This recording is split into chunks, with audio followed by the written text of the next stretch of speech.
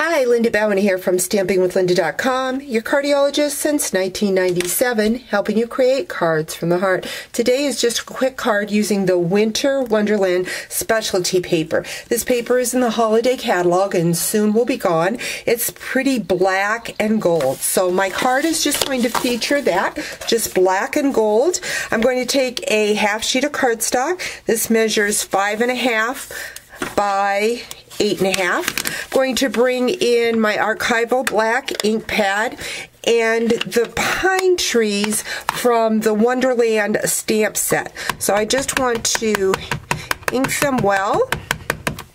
And I'm going to stamp them across the front of my card.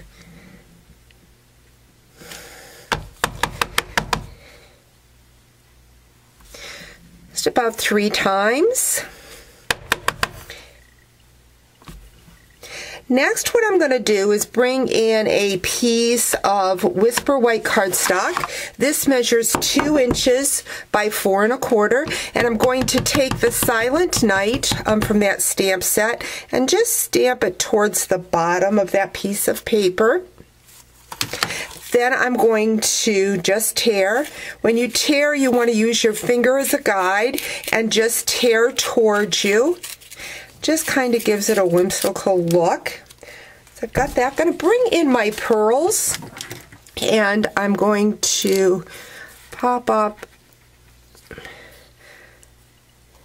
some of those pearls. I'm using my paper piercer. I find that works very well for getting underneath those pearls.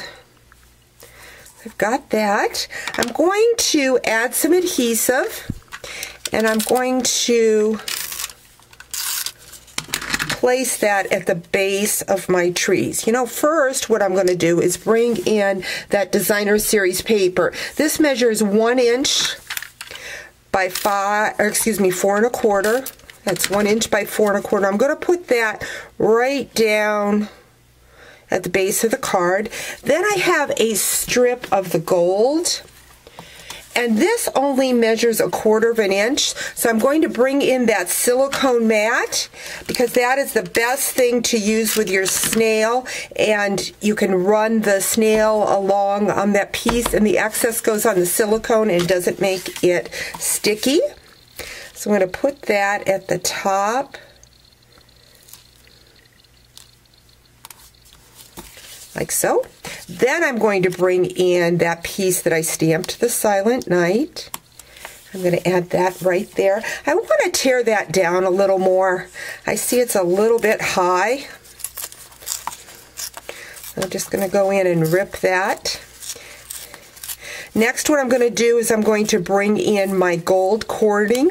This, too, is a product that is in that holiday catalog and I'm just going to wrap a few strands of that around my card just to accent that gold in the designer series paper.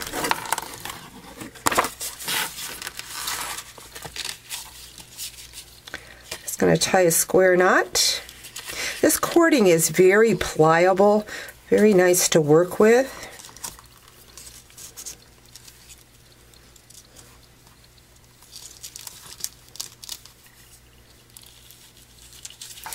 Bring in my snips, trim that off, and there you have a very quick, stunning black and gold Christmas card.